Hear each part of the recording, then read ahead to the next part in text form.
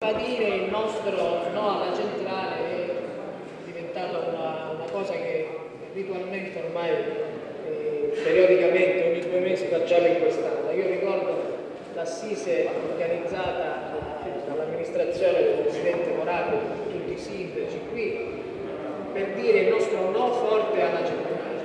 Oggi, rispetto alle novità di allora, rispetto all'iter che questo eh, funesto argomento ha fatto in questi anni, oggi c'è una novità, una differenza. C'è anche un'emergenza democratica nella zona in cui la centrale dovrebbe eh, stata ipotizzata, cioè ci sono dei comuni anche sciolti.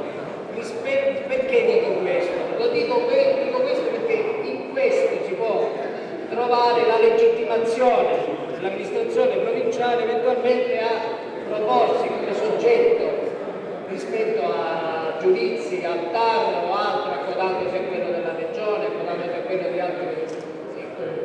Per questo, in questo senso, chiederemo quindi anche al segretario generale, al Presidente, di sulla possibilità concreta dell'amministrazione provinciale di rivolgere, di, di, di fare ricorso al TAR sull'argomento, proprio per interpretare, per racchiudere come ente che sovrintende al territorio della nostra provincia e anche quindi alla, eh, alla difesa della salute, alla difesa de, de, dell'ambiente, rispetto a un'emergenza democratica e istituzionale che c'è nei comuni diciamo, della, della, zona interessata dalla Costituzione.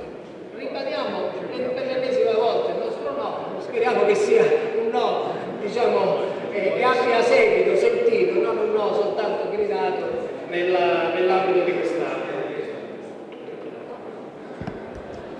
Grazie consigliere Battaglia che siete stato convocato per l'intervento del consigliere Mazzarri, facciamo prego.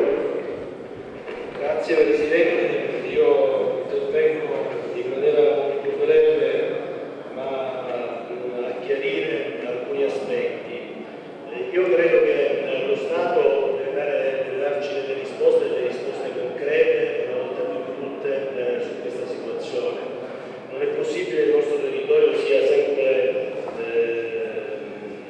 appassionato eh, sotto tanti aspetti e non eh, avere un contributo positivo sotto l'aspetto turistico. Questo è un danno eh, che da parecchi anni eh, subiamo, eh, al di là eh, dei governi che siano di centro-destra o di centro-sinistra, quindi un dato che secondo me è negativo e che dobbiamo combattere in maniera forte e decisa. Sicuramente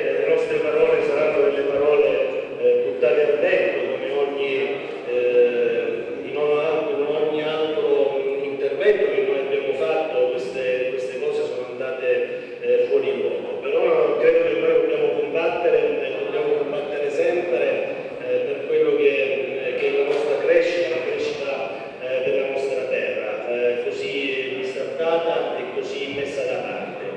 Io credo eh, che il Consiglio Provinciale non ha nessun, nessuna prerogativa a fare